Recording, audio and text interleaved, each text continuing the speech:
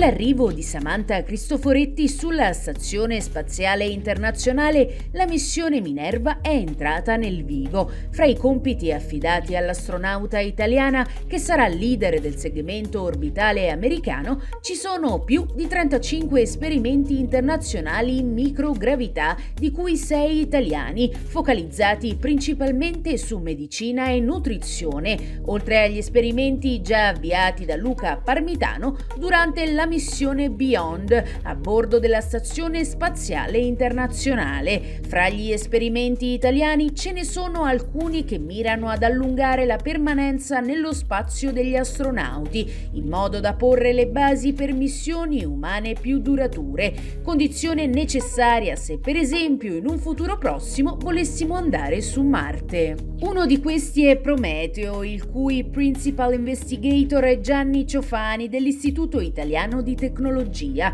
Si tratta di un esperimento dell'Agenzia Spaziale Italiana che ha l'obiettivo di indagare se la protezione antiossidante può ridurre lo stress ossidativo che colpisce il sistema nervoso centrale, contribuendo a generare molte patologie gravi come il morbo di Crohn e il Parkinson, oltre ad essere uno degli effetti più pericolosi del volo spaziale. Acoustic Diagnostics si concentrerà invece sulla valutazione degli eventuali danni all'apparato uditivo in pratica i quattro astronauti impegnati nella missione sono stati sottoposti a dei test audiologici prima della partenza e poi una volta tornati verranno nuovamente controllati per capire se ci sono state variazioni dei danni all'apparato uditivo anche lievi o temporanei. L'esperimento che vede Arturo Moleti del Dipartimento di Fisica dell'Università di Tor Vergata come Principal Investigator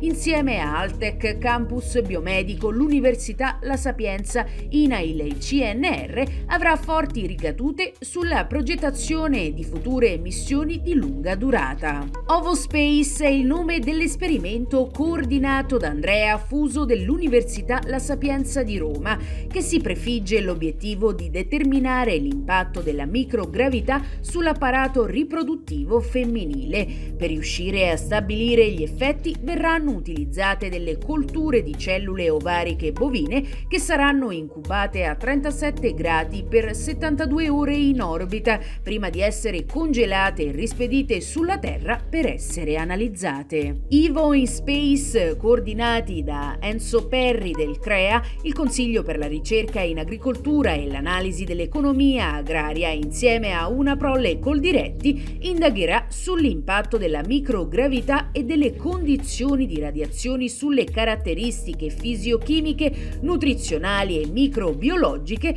dell'olio extravergine d'oliva italiano, in quanto alimento ricco di antiossidanti e con proprietà antinfiammatorie. LIDAL, acronimo di Light Ion Detector for Altea, è un rilevatore di particelle costruito a partire dal payload ASI Altea, ma con alcuni miglioramenti tecnici. Infatti, se Altea, che ha operato sulla IS dal 2006 al 2012, riusciva a misurare gli ioni pesanti e medi studiando l'interazione che questi avevano sul sistema nervoso centrale, oggi con l'IDAL Altea sarà possibile misurare anche gli ioni leggeri, in particolar modo i protoni. Non solo, l'IDAL, grazie a un'elettronica veloce e all'avanguardia, è in grado di misurare la velocità di ogni particella, permettendo di determinare l'energia cinetica delle particelle incidenti. Livio Narici dell'Istituto di Tor Vergata INFN è il principal investigator di questo esperimento. L'ultimo degli esperimenti italiani si chiama Nutris e ha come obiettivo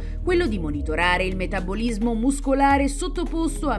microgravità per adottare degli accorgimenti in modo da contrastare la perdita di massa magra attraverso il controllo dell'alimentazione. La microgravità sulla Stazione Spaziale Internazionale non permette agli astronauti di fare attività e in questo modo rischia di far aumentare il rapporto fra la massa grassa e la massa magra degli astronauti. L'esperimento, guidato dal professor Gianni Biolo dell'Università degli Studi di Trieste, aveva già monitorato la l'attività metabolica di Luca Parmitano e Mattias Mürer nel corso delle scorse missioni dell'ESA. Adesso continuerà monitorando anche Samantha Cristoforetti, un esperimento che permetterà di definire un protocollo nutrizionale di riferimento per missioni spaziali di lunga durata.